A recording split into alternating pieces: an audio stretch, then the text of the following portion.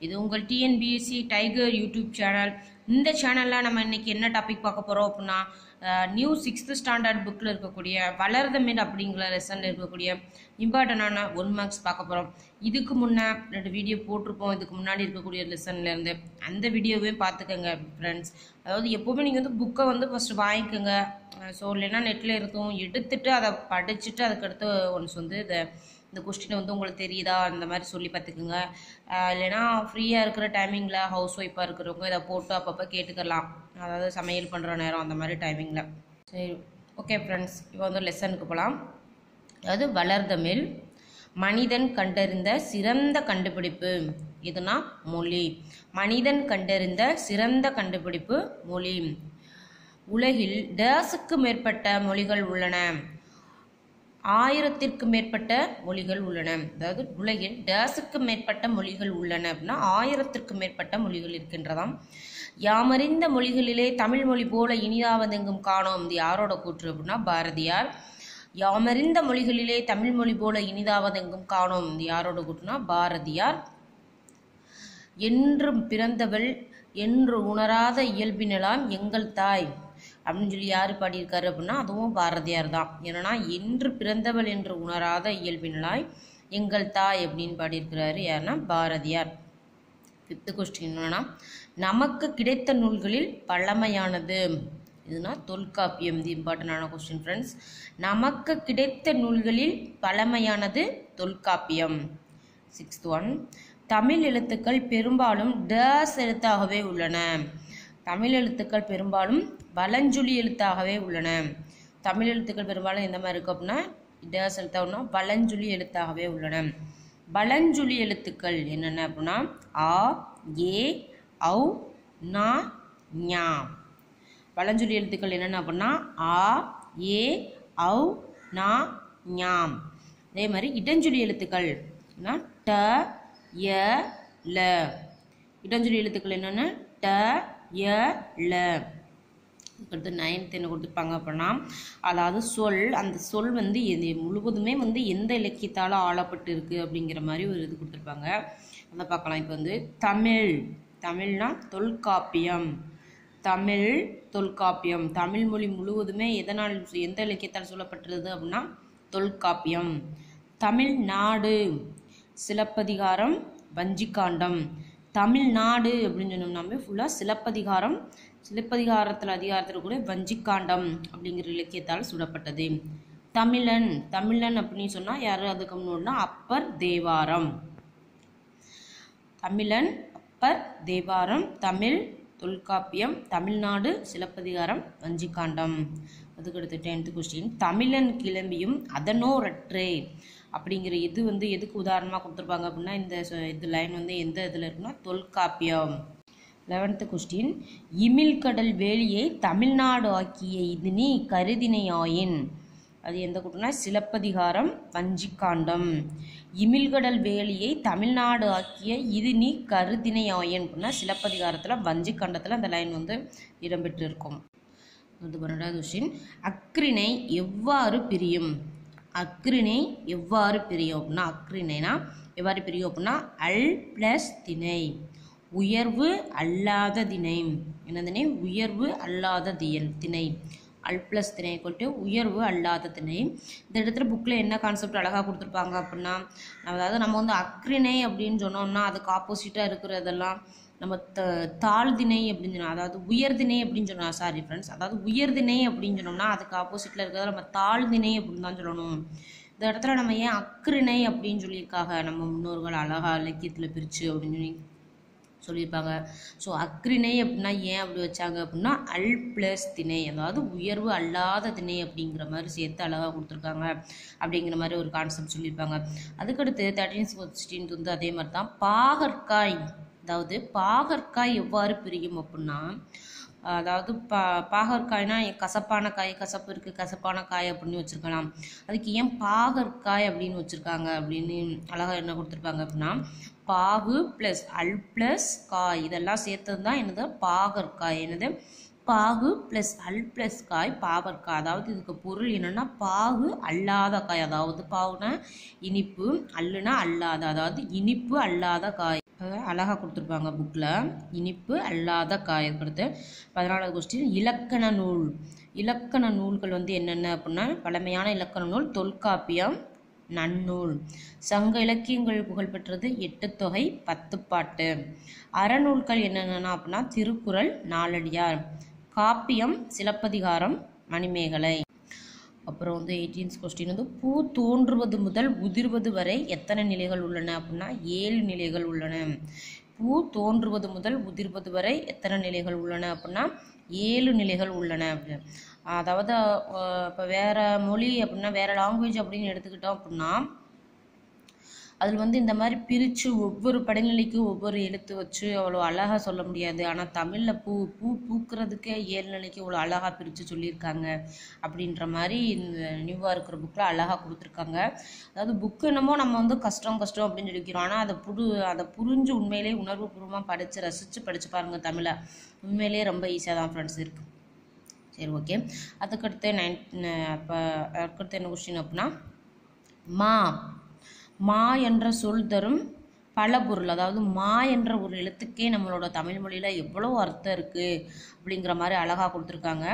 So அப்போ இது என்ன அப்படின்னு பார்ப்போம்னா அதாவது இந்த எப்படி என்ன கொடுத்துருக்காங்கன்னா மரம் விலங்கு பெரிய திருமகள் அழகு அறிவு அளவு வயல் பண்டு அழைத்து துகள் மேன்மை இந்த மாதிரிலாம் மா அப்படிங்கிற ஒரு சொல்லுக்கே இவ்வளோ பொருள் இருக்குது அப்படின்னு கொடுத்துருக்காங்க.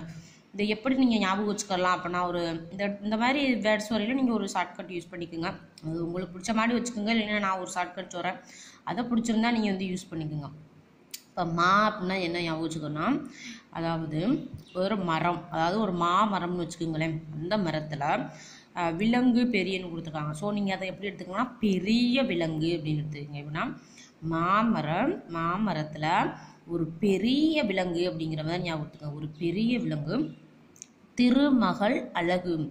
அப்படின்னா திருமகள் மாதிரி அழகாக இருக்குது அந்த விலங்கு வந்து. திருமகள் மாதிரி அழகாக இருக்குது அதுக்கப்புறம் அதோட அறிவு அறிவு அளவு கொடுத்துருக்காங்க. அதோட அறிவை என்ன செய்ய முடியாதான் நம்ம அளந்து பார்க்க அளவுக்கு முடியாதான் அவ்வளோ ஒரு அறிவான விலங்கு அந்த விலங்கு பெரிய விலங்கு.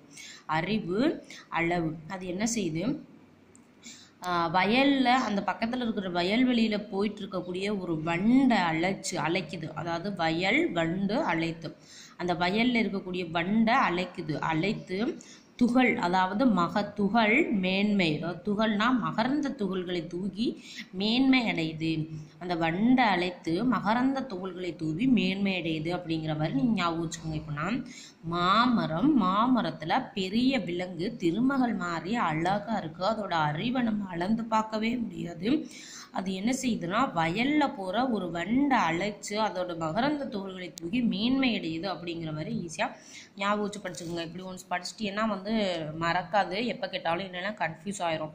ஸோ இதுக்கெல்லாம் ஒன்று ஒரு நிமிஷத்தில் படித்து ஈஸியாக முடிச்சிடலாம்.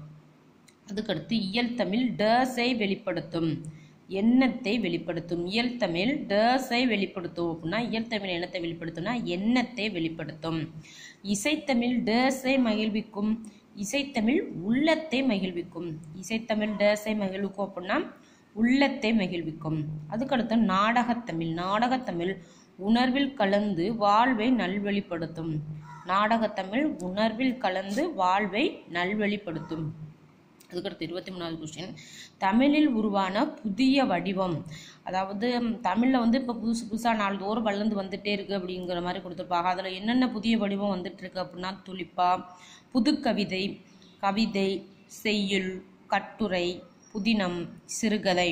என்னென்னா துளிப்பா புதுக்கவிதை கவிதை செய்யுள் கட்டுரை புதினம் சிறுகதை. இந்த மாதிரி தமிழ் வந்து நாள்தோறும் வளர்ந்து கொண்டே வந்துட்டுருக்கு அது மாதிரி தமிழ் மொழியை வந்து நம்ம இணையதளத்தில் பயன்படுத்துகிற அளவு கூட தமிழ் வந்து வளர்ந்து வந்துட்டுருக்கு அப்படிங்கிற மாதிரிலாம் நிறைய கான்செப்ட் கொடுத்துருப்பாங்க. ஸோ நீங்கள் வந்து அந்த கான்செப்ட்ஸ் எல்லாம் ஒன்ஸ் வந்து ரீட் பண்ணி விட்டுக்கோங்க ஃப்ரெண்ட்ஸ் இதுக்கடுத்து இருபத்தி நாலாவது கொஸ்டின் என்ன பண்ணால் தாவர இலை பெயர்கள். அதாவது தாவரங்களை வந்து அந்த இலைகளை வந்து என்னென்ன மாதிரி பெயரால் அழைக்கணும் அப்படிங்கிற மாதிரி கொடுத்துருக்காங்க. அது என்னென்னா ஃபஸ்ட்டு வந்து ஆள் அரசு மா பலா வாழை அதெல்லாம் என்ன அப்படின்னா இலை.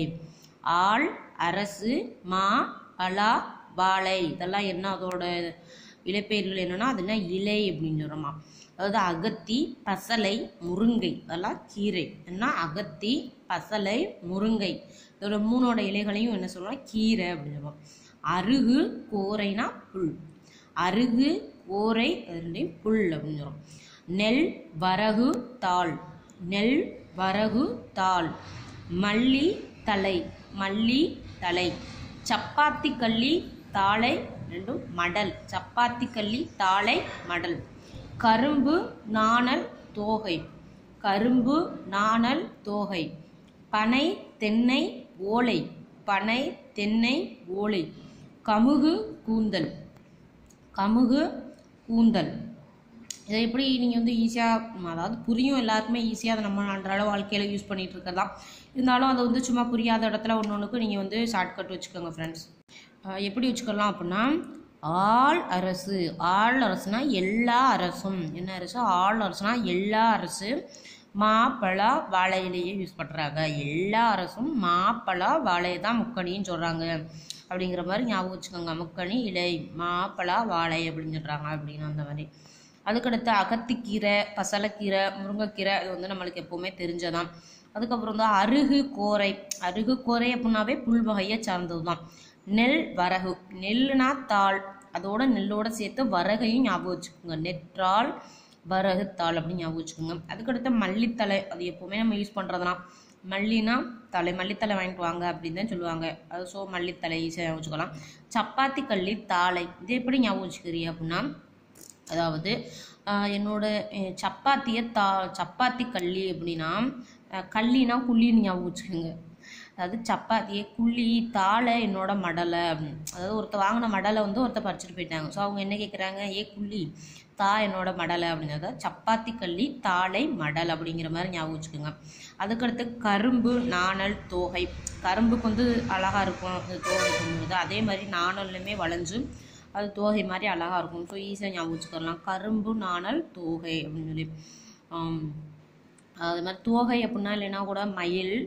அந்த மயில் வந்து நல்லா கரும்பானா இனிப்பாக இருக்கும். அது வந்து நாணல் அதாவது வெக்கப்படும். அந்த மாதிரி டான்ஸ் ஆடும். அந்த மாதிரி டான்ஸ் ஆடும்ல அந்த மாதிரி வெக்கப்பட்டு இனிப்பாக டான்ஸ் ஆடும். பனை தென்னை அது ஓலை. நம்ம எப்பவுமே தெரிஞ்சதான் பனை ஓலை தென்னை ஓலை. கமுகு கூந்தல் அது எப்படி ஞாபகம் வச்சுக்கலாம் கமுகு கூந்தல்னா கமுகு. என்னோட கூந்தல் வந்து கமகமன்னு மணக்குது அப்படிங்கிற மாதிரி ஞாபகம் வச்சுக்கோங்க. கமுகு கூந்தல். ஓகே ஃப்ரெண்ட்ஸ் அவ்வளோதான் இப்போ நம்ம சிக்ஸ்த்து ஸ்டாண்டர்டில் இருக்கக்கூடிய மூணு டாபிக் ஃபுல் ஒன் மார்க் வந்து அழகாக முடிச்சிட்டோம். அவ்வளோதான் எதுவுமே நம்ம வந்து நியூ புக் வந்திருக்கே பழசு படிச்சிருக்கோமே வேஸ்ட் ஆகுமா அப்படின்னா யாருமே நினைக்காதீங்க. என்ன படிக்க சொல்கிறாங்களோ அது ஈஸியாக படிச்சிடலாம். நியூ புக்காக இருந்தாலும் பழைய புக்கானா நம்ம எப்படி இருந்தாலும் படிக்க போகிறோம் படிக்கிறதுனால நம்மளுக்கு ஒன்றுமே ஆக போகிறது இல்லை. நாலேஜ் வளர போகுது அவ்வளோதான் அப்படின்னு நினச்சிட்டு என்ன கொடுத்தாலும் நீங்கள் ஈஸியாக படித்து முடிச்சிருங்க ஃப்ரெண்ட்ஸ் இந்த மாதிரி படிக்கையில் நோட்ஸ் எடுத்துகிட்டே படிங்க. அவ்வளோதான் தான் மறக்காமல் இருக்கும். ஸோ படிச்சுட்டு ஒன்ஸ் இந்த வீடியோ கேட்டுக்குங்க. அப்பப்போ ஃப்ரீயாக இருக்கிறவங்க ஃப்ரீ டைமில் கூட போட்டு கேட்டுக்கலாம். என்னோடய சேனல் பிடிச்சிருந்தா சப்ஸ்கிரைப் பண்ணுங்கள் நான் தொடர்ந்து உங்களுக்கு பயனுள்ள வகையில் ஒன் வேர்ட்ஸ் எழுதி போட்டே இருக்கேன். அதாவது ஒன் வேர்ட் ஃபார்மேட்டில் பார்த்தீங்கன்னா உங்களுக்கு வந்து மறக்காது. சொல்லி பார்க்குறதுக்கும் ஈஸியாக இருக்கும். ஓகே ஃப்ரெண்ட்ஸ் என்னோட சேனல் பிடிச்சிருந்தா சப்ஸ்கிரைப் பண்ணுங்கள் ப்ளஸ் லைக் பண்ணுங்கள்